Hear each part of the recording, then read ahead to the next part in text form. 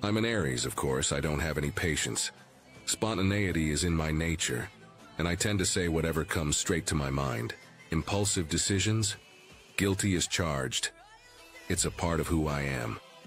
From the very first hello, you'll notice I get attached quickly because I'm all in from the get-go, noticing everything along the way. I might act like I don't, but don't be mistaken. An Aries observes all.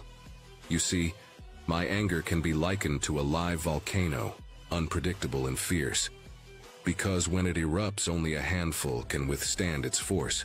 As for aesthetics, no matter how beautiful you are, it means nothing to me if your personality reveals the slightest bit of ugliness. Then it's over between us. And don't think for a second you fooled me. Sometimes I'm just giving you enough rope to hang yourself.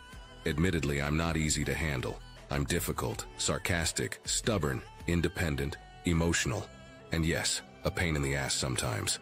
But get this right. If you treat me the way I deserve, I am also the most loving, supportive, fun, loyal person you'll ever encounter. I'm a genuine Aries through and through. I don't bother with a fake image. What you see is exactly what you get. Some days I'm amazing, other days I'm a wreck. But regardless, I'm always unequivocally me. Drop a yes if you agree.